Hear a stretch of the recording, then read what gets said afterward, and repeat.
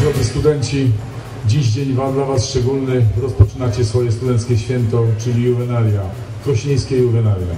Te juwenalia zaczęliście pod hasłem muzyka, taniec, integracja i tego chciałem Wam życzyć, aby te dni muzyczne, taneczne, pełne integracji służyły waszym, Waszej zabawie, Waszej integracji, radości, uśmiechowi i oby towarzyszyło Wam słońce.